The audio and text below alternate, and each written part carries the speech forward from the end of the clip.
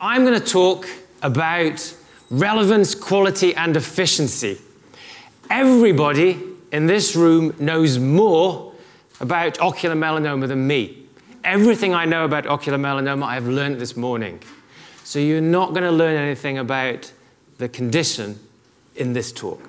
I'm going to be talking in general terms about what it is that makes sure that research is relevant, relevant to people who have decisions to make. People like you, people like clinicians, people about like commissioners who have to make decisions about what care to provide.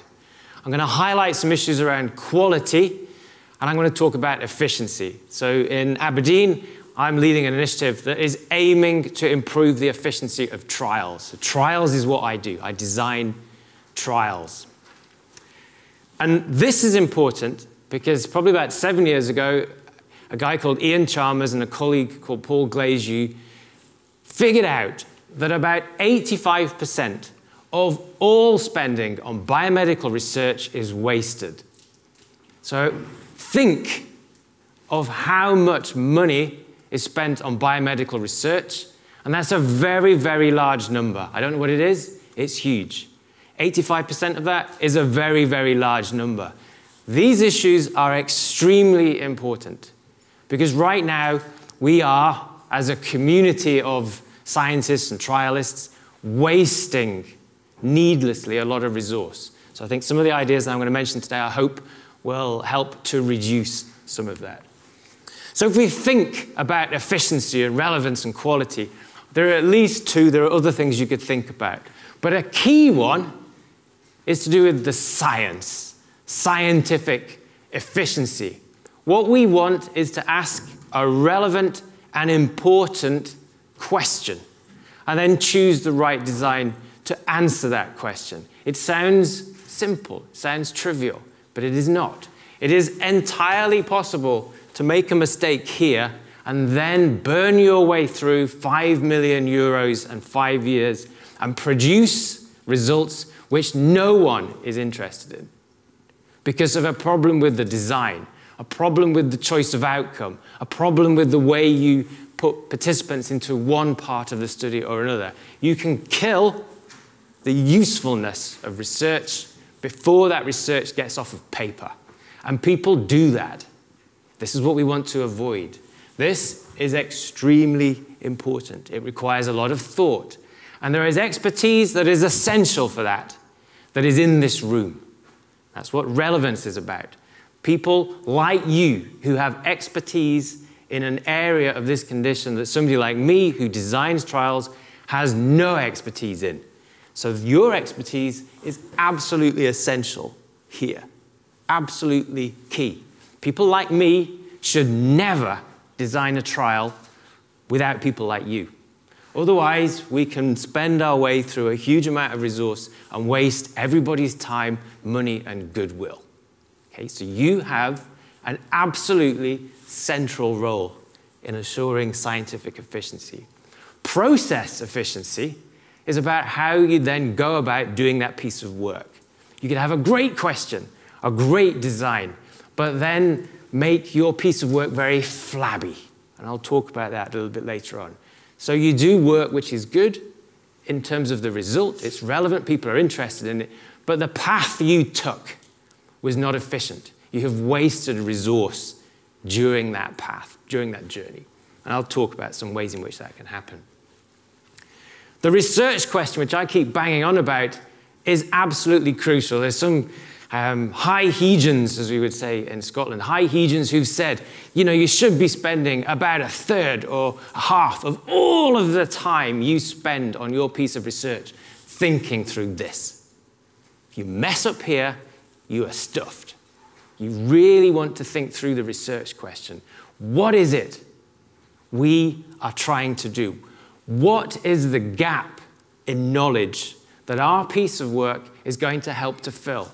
Whose decisions will be improved by the piece of work that we are thinking about? Has this question already been answered? Now, many of you will have heard about systematic reviews. All research should start, particularly trials, with systematic reviews. What do we already know in the literature about this question? Hoover up everything that we know from existing work before we blaze a trail doing something that people 10 years ago may already have answered. And there is clearly published work which shows that questions were answered a decade before people stopped doing trials on that question. Thousands of participants, hundreds of thousands, millions of dollars spent answering a question that was answered a long time ago. Just think of what could have been done with those resources and with the goodwill of those participants. It was wasted. The first thing for particularly trials is a systematic review. What do we already know? Where are the gaps in research? Where can we make a real contribution so that we do not waste resource and we do not waste goodwill? Why bother? Why should we bother? Who, who will have the ability to make better decisions because of our piece of work? And then that leads you, having got your research question, to things like who should be in the trial? What should those people be contributing to the trial? Where should we be doing it? These sorts of things fall out of that careful process around the research question. And I'll show you a tool which can help with that too. The design is something that people like me can help with. A lot of these things are things that I cannot help with. That's what you can help with. And clinicians like the clinicians who have spoken earlier to this morning. Okay, so some bits I could do. There are bits that I absolutely, categorically, 100% cannot do. People like you have that expertise. This slide is going to highlight a point. It's a guy called Doug Altman who was speaking at a research waste conference about one year ago exactly in Edinburgh. And he was talking about a systematic review that was looking at a marker, P53, as a marker, prognostic marker for bladder cancer. And the people who did this review, they found 168 studies. Those studies had been done over a 10 year period and they had involved more than 10,000 patients. And when those reviewers pooled all of this work and asked, is P53 a marker of bladder cancer? What they concluded was, we have no idea. 10 years of work, more than 10,000 patients, 168 studies, and we shrug our shoulders because we have no idea. Shocking. Why? Well, there are 168 studies that have not produced an answer to that question. It is poor design, poor thinking with regard to their research questions, poor ways of allocating patients to one treatment perhaps or another. Poor design has meant that all of that goodwill and contribution and resource has not answered that question. It is deeply shocking. A review that I wrote a summary for, so I wasn't involved in the review, but I summarized it. This was looking at catheters in hospital, catheter number one versus catheter number two. There were 26 trials involving four and a half thousand patients. And at the end of that review, is catheter one better than catheter two? We have no idea. The quality of that research was so poor that we are unable to conclude whether catheter 1 is better than catheter 2. Four and a half thousand people have contributed substantial amounts of their time to that work, and they have done that because they believed they were advancing science. And the people who designed those studies have not ensured that that is the case. They have wasted goodwill. This is what we're hoping to avoid by thinking more carefully about this. This is a PhD student, or an ex PhD student, she graduated last year, of mine called Kirsty Loudon. What she wanted to do was to develop a tool that could help trial teams think more carefully about the design of their trial. And to do so by thinking about who am I designing this trial for? Who are the people I want to inform with my results? What information can I provide to them to improve their decisions? And what can I do when designing my trial to ensure that those individuals are not forced to dismiss my trial as irrelevant to them and their patients. And she came up with a wheel. Now, we don't need to know the detail of this wheel, but what it is doing is here are some key design decisions that you will have to take in your trial. Things like who should be in my trial? Where should that trial be done? What is the outcome that I should measure as my main outcome measure? These questions can make or break a trial. If up here you are trying to run a trial that is going to improve the decision making of general practitioners when they treat a patient with asthma, and the trial here is excluding whole rafts of patients with asthma, then straight away you are not helping that person who's trying to make a decision about the treatment of his or her patients because you are excluding patients that he or she will see. Some of those patients should be in that trial. This brings it to the fore. Lots of trials that are actually dealing with uh, decisions made in primary care choose to do those trials in hospitals because it's easier. And then those in primary care who are making these decisions would say, well, that's secondary care. This is not about me. They have different resources. They are different sorts of experts than we are. Dismiss. This sort of wheel helps think through those decisions.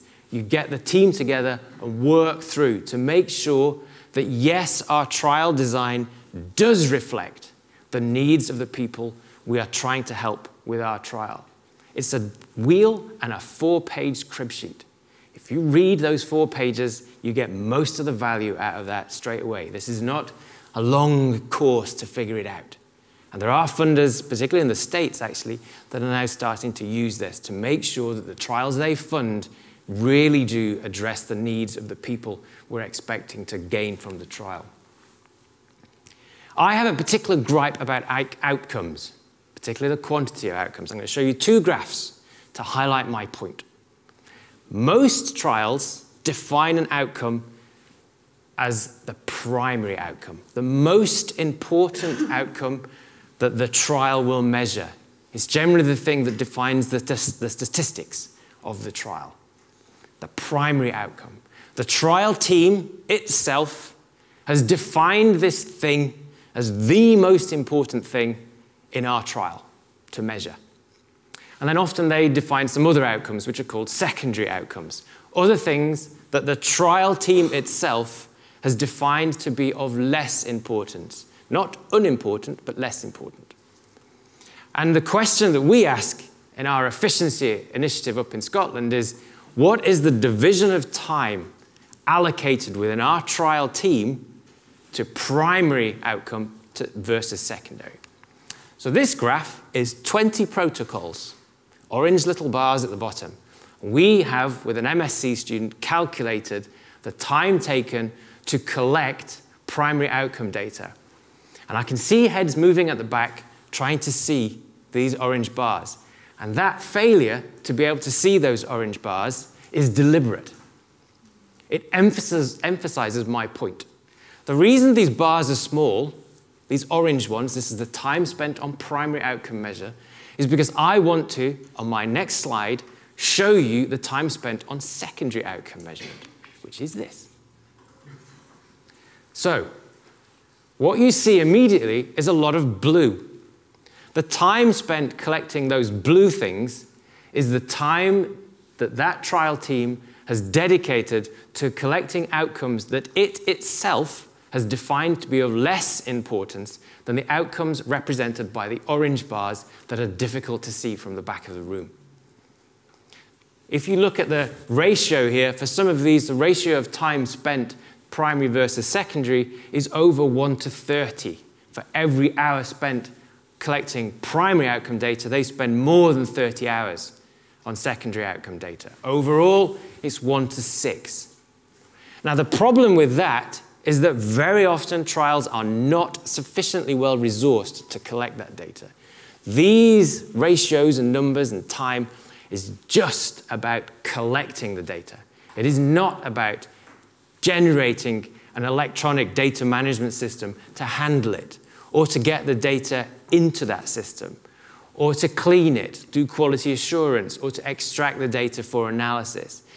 In my opinion, it often represents a lack of focus. And that that lack of focus can floor the trial. There's way too much work for the resources they have available. And that the resources they have are not directed at the thing that they themselves have defined as the most important outcome. It is directed at a collection of other things, which often, as far as the statistics are concerned, they do not have sufficient numbers of people in the trial to say much meaningful about them.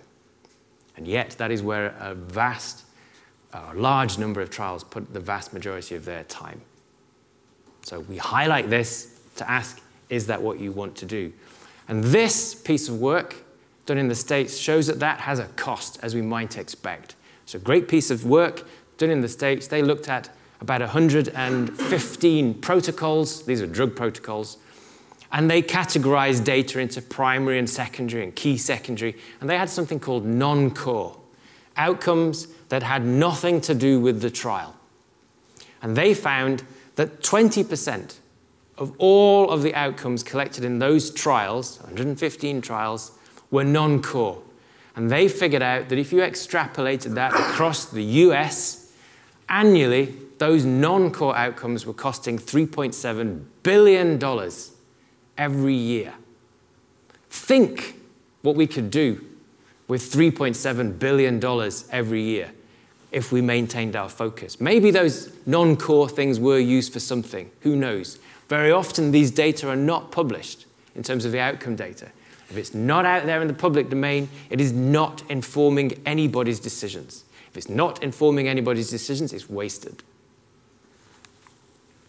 Right, I'm going to give you one example. I'm, I'm winding towards the end now. This trial forge idea, one of the, the key things it has as its starting point is we need more coordination and collaboration. So we can try and address some of these efficiency problems on our own, which is what's been happening forever. And people have been saying for at least half a century, we need to do something about efficiency in trials. But what we need to do is to be a bit more directed. Here are some key problems, and then work collaboratively to address them. And this is one example from trials linked to retention. Recruitment is hard. Once you have an individual involved in a trial, you want to make it as easy as possible for that individual to stay with the trial. And often, as trialists, we do not do that. We make it actually quite hard for people to stay in the trial. This group here, these are Aberdeen and Dundee, so it's a Scottish study, they used questionnaires, sent out questionnaires to collect trial outcome data. And what they did is one of the things to try and make it easier for people to return their questionnaire was the way they worded their cover letter. Now, it sounds trivial, but there's some theory they have used on the wording of the cover letter. It's a letter they were going to send anyway. It's as cheap as chips. But what they found was that by wording it in a particular way, it improved the response rates by about 6%. A small increase, but it was as cheap as chips. They were going to send the letter anyway, cost them nothing in addition. Now that's great, but it's not enough. We need to replicate this. We should never get excited about one study. We need to replicate it. So what we do within Trial Forge is what ask other units and trialists, would you be interested in doing it? And these organizations have said, yes, we would. So what we weren't going to ask them to do is start evaluating that same intervention as a replication. And I think that level of collaboration, particularly in rare disease trials, is absolutely essential. You cannot do these things on your own, as well you know. But this degree of collaboration and coordination, what are the key questions where we should be directing the resource that we have available to us, is central. We really shouldn't be allowing or thinking that it's efficient to just hope that something interesting pops up and is dealt with by one group. I think it really does need coordination, which is why groups like this are important in setting priorities. I'm involved with one rare disease trial. It's a completely different topic. It's a neuromuscular condition. We had a meeting during the summer where we reflected on what we had learned from that trial, which is still ongoing. We're dealing with the data right now. And these are some of the key things. And while I was uh, thinking about this talk, uh, Catherine mentioned yesterday that you, um, OcuMel is interested in the future in, in funding research. Now, trials are very, very expensive. But there are things within this that I think even a funder with relatively modest amounts of money can make very, very useful contributions. The key finding from that rare disease trial that I'm involved with is that the outcome set was way too big. This is not a surprise to me because this is what we argued right from the start. It was difficult to get the clinical investigators on board with dramatically reducing the outcome set. That has cost us because we do not have the resources in that trial to fully collect that outcome set. So we're now, after an extension, we're doing months of data cleaning. This was entirely predictable. Indeed, we predicted it. It's a problem. It's a common problem, is that the data uh, collector, the outcome package, is way too big for the resources available. Now, something that an organization perhaps like OcuMel could do is work together with other stakeholders to figure out what is the outcome package that we should put into this trial. What are the key outcomes that we absolutely have to collect? And then anything outside that, we really need to make a very compelling case for collecting it if we don't have a lot of resource available. So deciding these core outcome sets, you have expertise in that. And that, I think, even relatively modest funding can move that along. We had logistical issues, practical issues, and I think that's a common problem in trials. People like me do not work clinically. We don't think about how we are going to move a bottle of blood from Nijmegen to Newcastle.